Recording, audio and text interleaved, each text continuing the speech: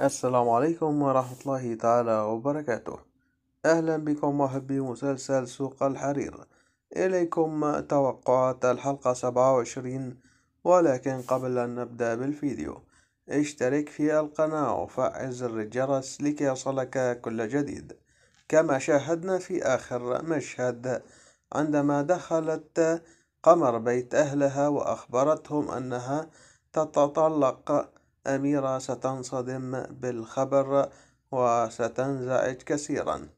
أم طلال ستحاول أن تقنع زوجها أبو طلال أن يسامح ابنته أمينة ولكن أبو طلال سيصر على قراره ولن يسامحها.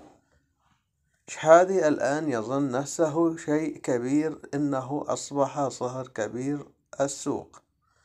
عمران سيقبل سيقابل قمر مرة أخرى وسيواجهها عمران وعبد الله ستكبر المسافة بينهم وسيكر وسيكره عمران أخوه عبد الله بسبب تفريق والدته بهم.